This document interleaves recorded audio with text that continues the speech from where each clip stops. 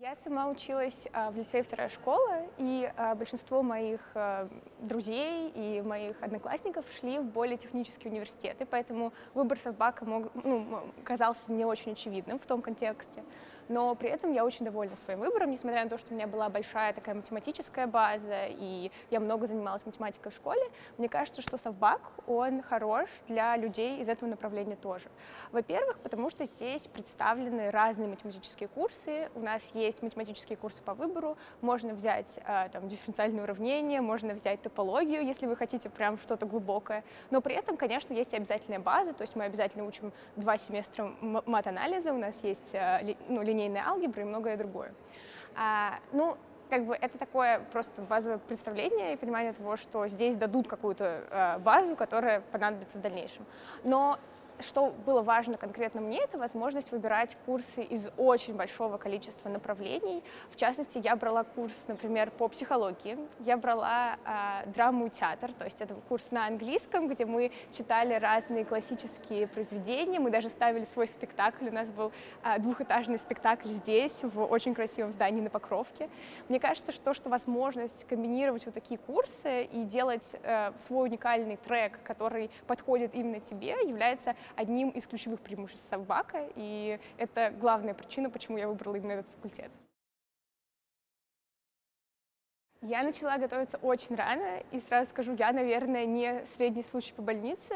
А мне было относительно легко, потому что, во-первых, как я уже упомянула, у меня была какая-то математическая база, экономика очень хорошо ложится, если у тебя есть хороший мат-аппарат. Ну и плюс мне просто это очень близко. А, я начала в седьмом классе, то есть супер рано, у меня было много времени.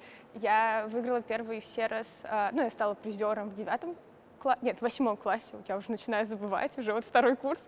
Э, да, первый мой всерос, первое призерство было в восьмом классе, потом у меня тоже были там, я была и победителем всероса по экономике, и там много раз. Э, мне кажется, что поэтому мне сейчас, в частности, легче учиться, потому что какую-то часть знаний я получила еще тогда, в период интенсивной подготовки к Олимпиадам, и сейчас я могу чуть меньше внимания уделять курсам по принципу макроэкономика, микроэкономика, потому что я их уже знаю на каком-то уровне, и могу больше сосредоточиться на всяких интересных курсах, которые менее стандартные, э, которые могут, может быть, включают в себя более глубокую экономику. Например, сейчас я брала э, Introduction to Finance, говорю на английском, потому что этот курс читается на английском, у нас есть и такие курсы.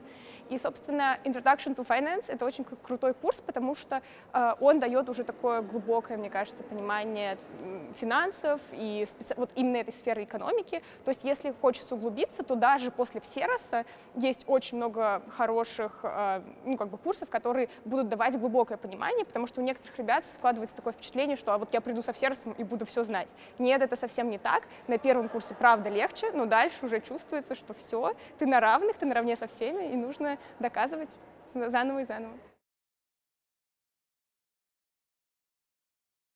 Мне кажется, что я очень хорошо прокачала, а, знаете, письменный английский, потому что у нас есть прям курсы, которые на это направлены. У нас вообще какая как миссия Совбака — довести всех людей к моменту выпуска до определенного уровня. Кажется, что это очень важно, потому что, во-первых, многие хотят поступать в какие-то иностранные там, магистратуры или вообще смотреть на работу не только на российском рынке, но и на зарубежных рынках, и поэтому как бы без знания языка никуда. Ну и плюс вот этот формат, что всех э, как бы доподнимают до нужного уровня, это тоже ценно, потому что многие, ну как бы многие многие факультеты, многие программы, у них просто ну, нету такого продуманного трека. Я э, пришла с, ну, с хорошим уровнем английского, и я брала только два э, курса английских, ну вот обязательных. Я могу брать больше, но в этом нет необходимости. Но многие мои друзья, кто пришли с более низким уровнем, э, они должны взять 4 или 6 курсов обязательно за время обучения, и они все, наверное, вот уйдут с э, очень хорошим уровнем, который позволит им работать и развиваться.